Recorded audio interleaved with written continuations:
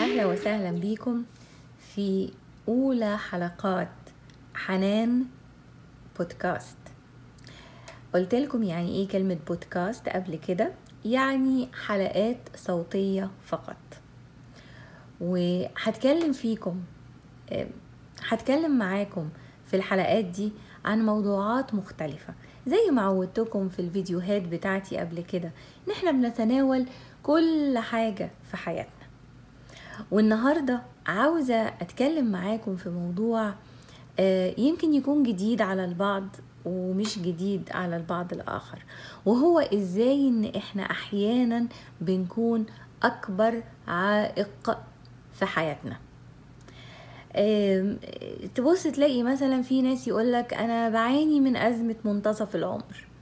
يعني مثلا آه، آه، هو في الأربعين أو هي في الأربعين وتبتدي حياتهم تتأزم. أو شخص تاني يقولك أنا مش لاقي نفسي. آه، أنا بدور على على نفسي مش لاقيني. ال- الكلام اللي هو أحيانا أحيانا بنحوله بنحوله لنكت.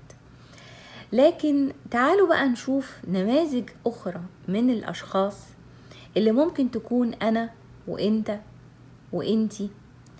آه، الناس اللي هي حياتها آه، حياتها كويسة حياتها فيها نوع من الاستقرار. آه، شخص محبوب متزوج أو متزوجة عنده أطفال عندها أطفال عنده مهنة محترمة بتشتغل وظيفة محترمة. أو ما بتشتغلش بس سعيدة بحياتها في البيت.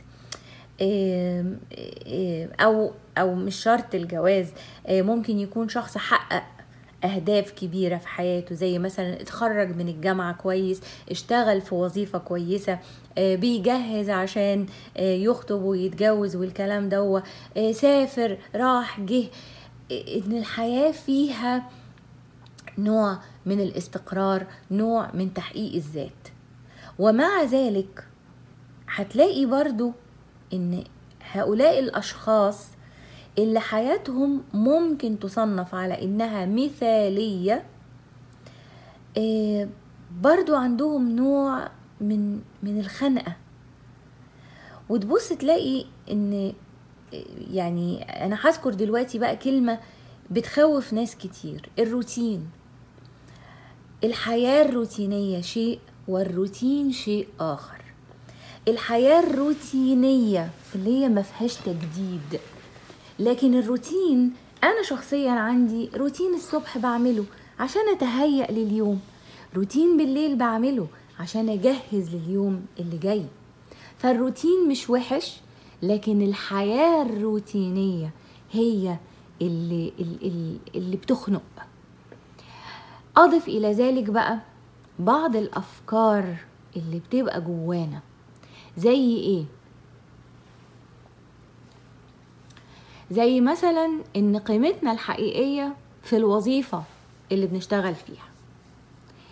أو آه، آه، الناس بتحبنا عشان آه، بنديهم.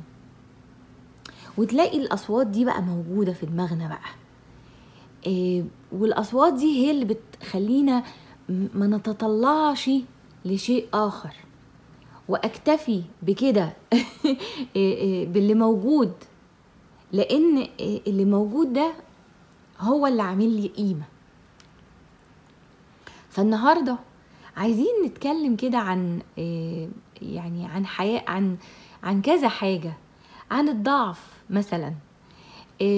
عن إزاي إن إحنا ممكن نعيش أكتر من حياة. مدموجين في حياة واحدة. وكمان إزاي إن إحنا لازم نتعلم أكتر من لغة. تعالوا نتكلم فيهم واحدة واحدة. إيه، أحيانا بنكون إحنا أكبر عائق في حياتنا لما بنربط قيمتنا الشخصية بالأدوار اللي بنلعبها.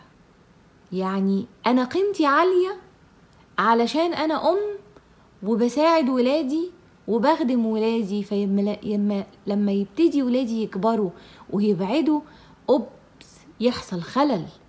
يحصل خلخلة في الأرض اللي تحت مني. أمال أنا قيمتي هتبقى إيه؟ لما ما ألاقيش حد أصحيه الصبح إيه أنا قيمتي هجيبها منين؟ ودي كلها حاجات بتقوض تقديرنا لذاتنا. لما نربط تقديرنا لذاتنا وقيمتنا الشخصية بعوامل خارجية. أو أنا في الوظيفة فتلاقي لما الشخص يطلع على المعاش أوبس عالمه يختل. أو أنا قيمتي الحقيقية إن أنا معايا فلوس طول ما أنا بدي الناس اللي حواليا هم بيحبوني وعاملين لي قيمة. لو راحت الفلوس دي مني محدش هيعبرني. فيبقى تركيزي كله على الفلوس من غير ما ابني قيمة حقيقية لنفسي. فلو راحت العوامل الخارجية دي يفضل ال essence يفضل ال ال القيمة المركزة لنفسي. فتخيل كده إن يعني وده يمكن موقف حصل أكتر من مرة إن أنا أبقى في networking event في تجمع من التجمعات اللي بتتعامل للناس اللي هي بتشتغل أو للناس اللي عندها شركات عشان يتعرفوا على بعض. فطبعا لازم نسأل بعض أنت بتشتغل إيه؟ فا oh أنا sales manager في شركة مش عارف إيه أو أنا مدير كذا كذا كذا أو أنا كذا كذا كذا أو أنا عندي شركة استشارات أو أنا كذا أو أنا كذا. ده التعريف الأولاني ليا. والشخص اللي بيتلقى هذه المعلومة يبتدي يحط صورة عننا. ده هذا الشخص بيشتغل في شركة كذا يبقى دخله مفروض يبقى كذا. وتلاقي الناس دي تبتدي تبقى مبهورة. oh wow. أنت sales manager في شركة كذا كذا كذا. wow. فإحنا من جوانا نحس آه إيه ده؟ أنا ليا قيمة. تاني نفس الغلطة. إن إحنا بنساوي قيمتنا الشخصية أو بنربط قيمتنا الشخصية بعامل خارجي. لأن دايما العوامل الخارجية غير ثابتة. لو أنا قيمتي واخدها من وظيفة الوظيفة هتروح. فيبتدي تقديرنا لذاتنا يتزعزع لما الوظيفة تروح.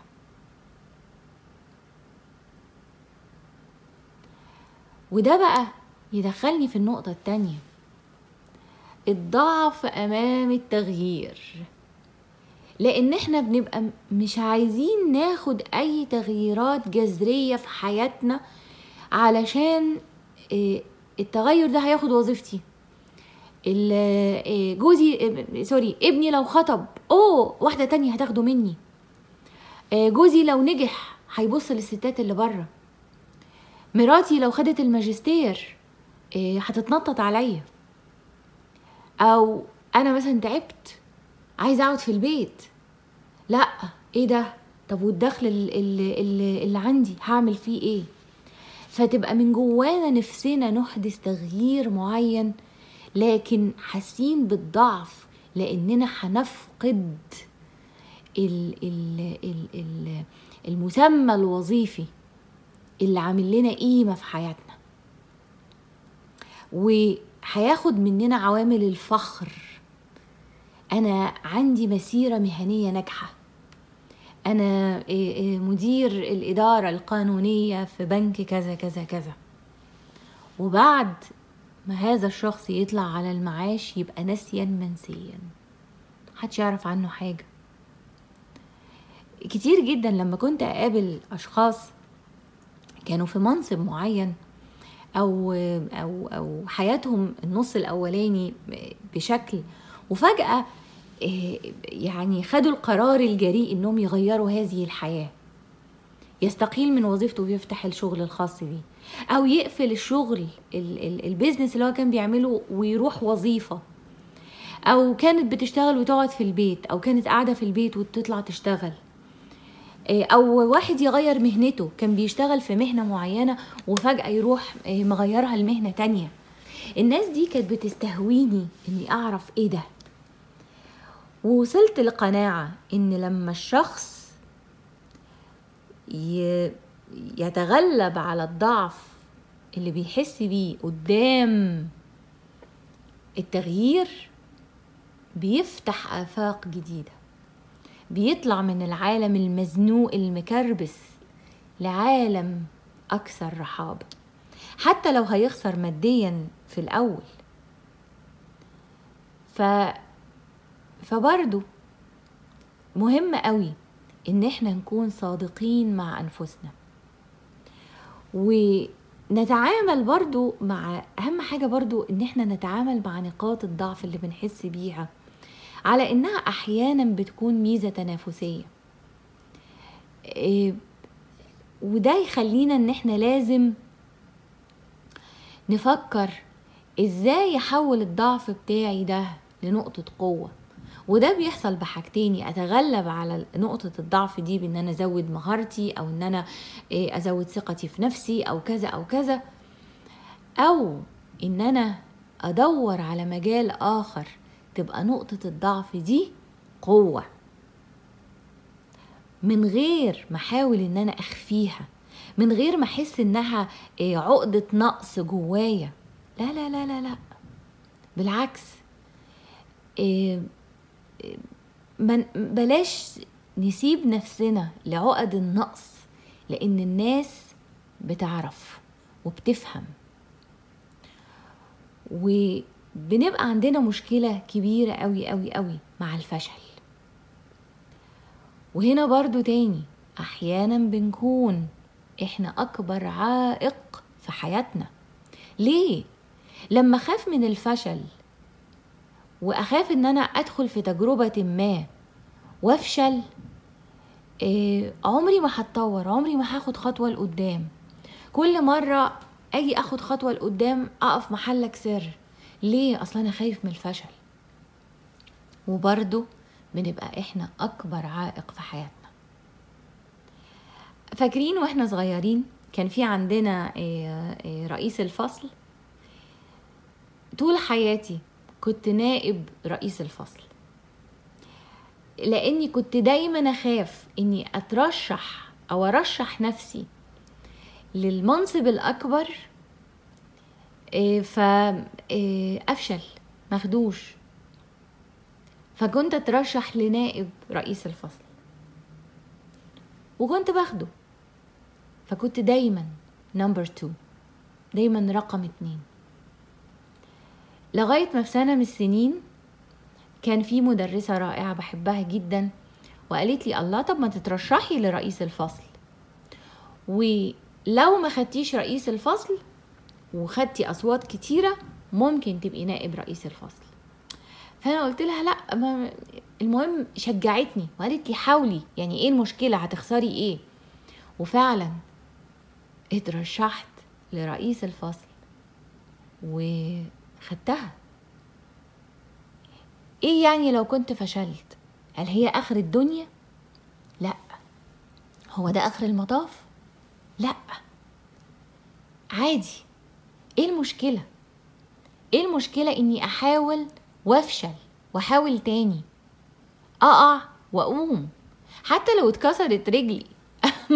ما هجبسها. آه هتعذب شوية. هتعذب من الخسارة هتعذب من الجرح هتعذب من طعم الفشل اللي هو وحش. وزي ما قلت لكم قبل كده إن إحنا إيه إن ربنا سبحانه وتعالى خلقنا بعقلية نمو. لكن لما نكبت هذا النمو في أنفسنا أو في الآخرين اللي حوالينا ساعتها بنبقى إحنا أكبر عائق في حياتنا. علشان بنتجنب إيه ال- الأشياء أو الحاجات أو المواقف أو الأفعال أو الخطوات اللي ممكن نتخيل إن إحنا هنفشل فيها أو مش هعرف. إيه أنا عايزة أتكلم بس مش هعرف أتكلم إزاي. أحيانا كمان زي ما بنخاف من الفشل بنخاف من الألم. الألم اللي اللي أنا لازم أعانيه عشان أتعلم شيء. الألم اللي جاي من الجهد اللي هبذله عشان أوصل لحاجة معينة. والألم كمان اللي هحس بيه لو ما وصلتش. والألم اللي هحس بيه طول الطريق عشان أوصل للنقطة دي. فلما نخاف من الألم نعمل إيه؟ نتجنبه. ما ندخلش بيه أصلا. ما ما نحاولش إن إحنا نعمل الشيء ده. علشان إيه؟ علشان ما تألمش. علشان ما أحزنش. علشان ما تجرحش. في ناس بتبعت لي تقول لي أنا خايفه أحب أحسن أتجرح. أنا خايفة أفاتح جوزي في الموضوع ده. أحسن آه، يرفض. وأنا مش عارفة لو رفض أنا هعمل إيه. عادي. لو رفض أتناقش معاه أتكلم معاه. لو رفض آخد هدنة شوية وأكلمه بعد شوية. إيه لو لو اتكلمت مع بنت ورفضتني مش مشكلة. أروح على جنب كده وأنزوي شوية وأداوي نفسي وأرجع تاني للحياة. أحيانا بنعمل حاجات معينة وننتظر ردود أفعال من اللي حوالينا. زي مثلا حاجة بتحصل كتير قوي إن أنا أقعد طول النهار أطبخ في أكلة يعني صعبة وجميلة والكلام ده ولما أحط الأكل على السفرة والولاد يقعدوا وباباهم طبعا يقعدوا ياكلوا أه وبص ألاقي رد الفعل مفهوش واو! إيه ده! إيه الأكل الجميل ده! إيه الروعة دي! في الأول كنت بزعل بقى أنا يا مجرمين قاعدة طول الوقت آه، أجهز وأحضر وأعمل الكلام ده كله وأنتوا في الآخر آه، آه، مفيش أي ثناء ومفيش تقدير ومفيش إيه ده يا ماما ده؟ إيه الحلاوة دي ولا الكلام ده؟ بعد كده قلت في نفسي ما هم مادام بياكلوها ما هم مبسوطين ما هم لو لقوها وحشة كانوا هيقولوا إيه يا ماما ده طعمها مش حلو. مجرد إن أنا لميتهم حواليا وأكلتهم أكلة أنا عارفة إنها حلوة دي هي دي جايزتي. مش لازم يقعدوا يقولوا لي كل مرة أوه واو اولا لا لا. مش لازم. مش لازم كمان آه، نفتكر إن إحنا فاهمين الناس اللي حوالينا قوي ونقول إحنا أصلنا عارفينه إحنا خابزينه وعجنينه. لأن ده ما بيخليناش آه، نستكشف الناس اللي حوالينا. أستكشف بابايا وأعرف هو بيتكلم في إيه وبيحلم بإيه وطموحاته إيه وإيه الحاجات اللي عدى بيها في حياته. أستكشف مامتي وأسمع قصصها. آه، أستكشف ولادي أستكشف جوزي. لو وصلت لقناعة إن أنا عارفة كل حاجة عنهم خلاص آه، هدخل بقى في هذه الحياة الروتينية اللي الناس هي هي والحياة هي هي وكل حاجة هي هي. لكن لو فكرت إن أكيد في حاجة في الشخص ده مراتي أو جوزي أو حبيبي أو حبيبتي أو أختي أو ابني أو جارتي. أكيد في حاجة لسه أنا ما اكتشفتهاش. لسه في حاجة ما عملناهاش مع بعض. لسه في مكان ما رحناهوش مع بعض. لسه في مواضيع ما تكلمناش فيها مع بعض. كل الحاجات دي هتخلينا نطلع من الحياة الروتينية. لسه في مع زمايلي مشاريع وأفكار وحاجات. لسه في مجالات في شغلي ما استكشفتهاش. فتخيلوا كده إن إحنا نبقى متفتحين إن إحنا نسمع للآخرين. يمكن يقولوا حاجة لذيذة ولو ما قالوش حاجة لذيذة مش مهم. كفاية إنهم آه، آه، عبروا عن وجهة نظرهم. كفاية إنهم آه، فتحوا قلبهم لينا. كفاية إننا قربنا شوية من بعض. ف دي الأفكار اللي جات لي النهارده. إزاي إن إحنا ما نبقاش أكبر عائق في حياتنا؟ إن إحنا ما نكونش سبب ال ال الحالة حالة انعدام الوزن دي. مع إن كل حاجة حوالينا كويسة وكل حاجة في حياتنا مستقرة لكن في من جوه كده صراع حاجة كده قاعدة عمالة. وهذا الصراع ممكن يخلي الحياة تفقد معناها وإن التحدي ما يكونلوش معنى. وإن إحنا ما نبقاش عارفين نرضى إزاي بحياتنا. يا ريت تتابعوني في البودكاست الجاية واكتبوا لي تحت في التعليقات هل مريتوا بالحالة دي؟ هل حسيتوا في لحظة من اللحظات إن أنتم أكبر عائق في حياتكم؟ ويا ترى عملتوا إيه واتغلبتوا على الإحساس ده إزاي؟ أقابلكم الحلقة الجاية إن شاء الله.